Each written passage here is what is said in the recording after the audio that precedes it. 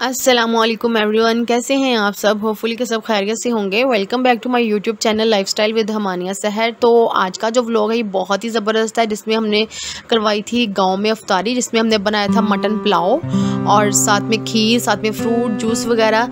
तो ये छोटा सा व्लॉग है, जो मैं, ये फोर्थ फ्राइडे का है, जिसमें जो, जिसमें जिसमें जो जो कुछ बनाना, वो मैं आपके साथ शेयर करूँगी। और हमने कैसे गाँव में अफ्तारी करवाई और कैसे सब कुछ हुआ। और कैसे वहाँ पर ना, वो जो गाँव के जो नाइफ वगैरह होते हैं ना, उन्होंने कुकिंग की थी।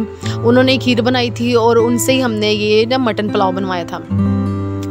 तो उन्होंने सबसे पहले जो था ना मटन को धो के रख दिया साइड पे और उसके बाद सबसे पहले जो काम था ना वो खीर खीर का था।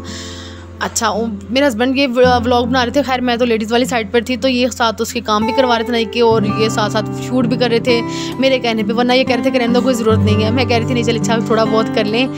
कि चलें थोड़ी सी कोई वीडियो बन जाएगी हमारी इस फ्राइडे क्योंकि हमने घर में अफ्तारी नहीं की थी, ना हमने घर में कुछ बनाया था। बाहर गाँव में हम गए थे, अपने और गाँव में अफ्तारी करवाई थी, और गाँव में ये हमने बनाया था, और वहीं से ही हम अफ्तारी करके आए थे।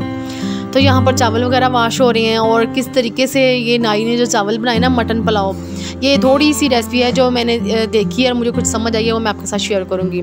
बट यहाँ पर सबसे पहले उसने खीर बनाई है सिंपल दूध में उसने डाल के चावल वगैरह खीर बनाई है साथ आ, कुछ मेवे वगैरह उसने मंगवाए थे वो उसने लेके वॉश करवा के उसकी कटिंग करवाई है।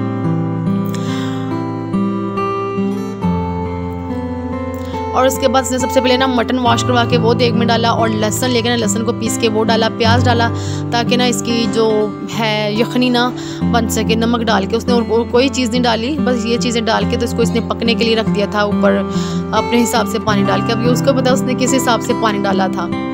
अच्छा हमने मटन मटन पुलाव बनाया था, साथ खीर थी, फ्रूट था, जूस जूसेस वगैरह थे, और खजूरें, और था, साथ फ्रूट वगैरह। और यहाँ पर उसने हमसे मसाले वगैरह मंगवाए थे, जो प्याज थे, टमाटर था, गरम मसाला था हाँ कुटा हुआ, और साथ में कुछ मिर्चें वगैरह, और अदरक का पाउडर था।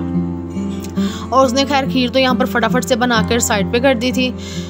लेकिन यहाँ पर उसे पकने में तो काफ़ी एक डेढ़ घंटा, डेढ़ दो घंटे लग गए थे खीर को। उसने पका के तो इसको ना कपड़े से ढाम के साइड पे कर दिया और वो खुद आ गया पुलाव की तरफ़। और यहाँ पर सबसे पहले उसने इसमें लहसन डाल के, थोड़ा सा प्याज डाल के और नमक नमक डाल के ना तो यहाँ पर मटन को ना जो उसने पका लिया था, तकरीबन उसने सेवेंटी से एट्टी परसेंट कुक कर लिया था और उसके बाद इसमें इमली का तड़का लगाया था उसने।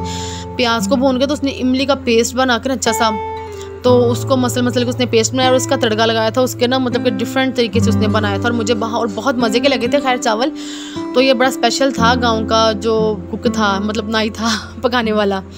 तो यहाँ पर उसने जब ये मटन हमारा गल गया, उसने निकाल दिया इसको लहदा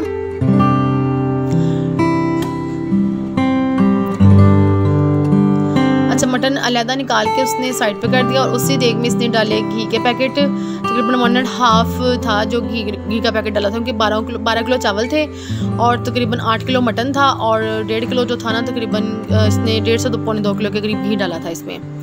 ऑयल यूज़ नहीं किया था इसने, घी मंगवाया था और इसने घी डाला था और यहाँ पर इसने जो मटन था वो पका हुआ उसने लैदा कर लिया और जो उसका यखनी थी वो लैदा कर ली। और सबसे पहले इसने ना प्याज का तड़का लगाया देग में डाल के, मटन में पुलाव के लिए। तो प्याज को जब प्याज ब्राउन हुआ, इसमें इसने टमाटर वगैरह, मिर्ची वगैरह ऐड की, जैसे हम आम बनाते हैं, वैसे ही बनाए थे, लेकिन बस देख के चावल थे तो वो अलहदा ही टेस्ट देते हैं, अलहदा ही मज़ा देते हैं तो वो बहुत मज़े के बने थे। और यहाँ पर इसने ना मटन को भूना था थोड़ा सा मसाले में ऑयल के। इसमें यहाँ पर इसने इतना भुना था कि यहाँ पर इसका ना ऑयल तकरीबन सेपरेट हो गया था और मसाला अच्छे से बन गया था। फिर इसने इमली का पेस्ट का तड़का लगाया। इसमें यहाँ पर इसकी स्पेशल चीज़ थी इसने पानी का तड़का नहीं लगाया था, इमली के पेस्ट का तड़का लगाया था। और जो यखनी बनी हुई थी ना, वो इसने अपने डब्बे में डाल के ना, वो इसने भर भर के इसमें डाल दी। और जो कोई रह गया सामान गुड्स वगैरह, वो भी इसमें डाल दिया। और इस हिसाब से जितने चावल थे उस हिसाब से इसने अपना इसमें पानी ऐड कर दिया।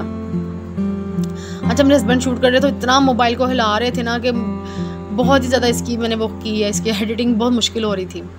उसके बाद इसने चावल वगैरह छान लिया और खालस देसी जो था ना, बिल्कुल देसी माहौल में था, थी ये कुकिंग और गाँव था फुल जिसे कहते हैं ना, गाँव टाइप का, वो पुराने ज़माने का, वैसे ही नलका लगा हुआ, वैसे ही पानी, वैसे हमने खुली जगह पे इंतज़ाम करवाया दरख्तों के नीचे, छाँव में, और बड़े मज़े का इंतज़ाम था और बहुत ही मज़ा आया। लेडीज़ लहदा बैठी हुई थी जेंट्स लहदा थे तो बहुत मज़े का था। यहाँ पर इसने अपने तरीके से इसको दम पे लगा दिया, जैसे नाई लगाते हैं कुक वगैरह तो बहुत ही मज़े का था माहौल। हमारा बहुत मज़ा आया, बच्चों ने बहुत इंजॉय किया।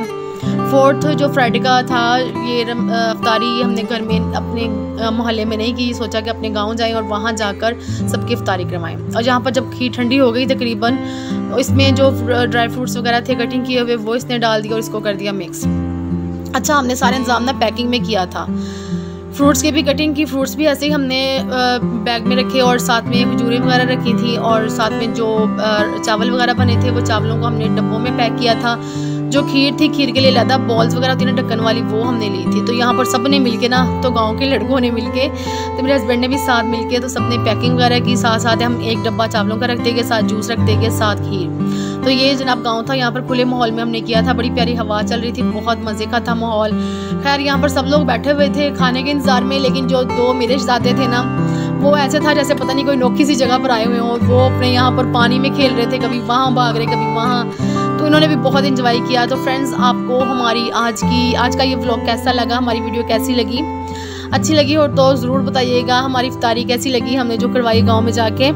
शहर में तो सभी करवाते हैं, बढ़ चढ़ के लिए करवाते हैं, लेकिन हमने सोचा कि हम गाँव में करवाएँ। थोड़ा सेपरेट सा माहौल हो, थोड़ा बच्चे भी कर लें इन्जॉय वगैरह। तो फ्रेंड्स आपको कैसी लगी हमारी वीडियो अच्छी लगी हो तो कमेंट में ज़रूर बताइएगा। मिलते हैं नेक्स्ट किसी वीडियो में। तब तक के लिए अल्लाह हाफिज़।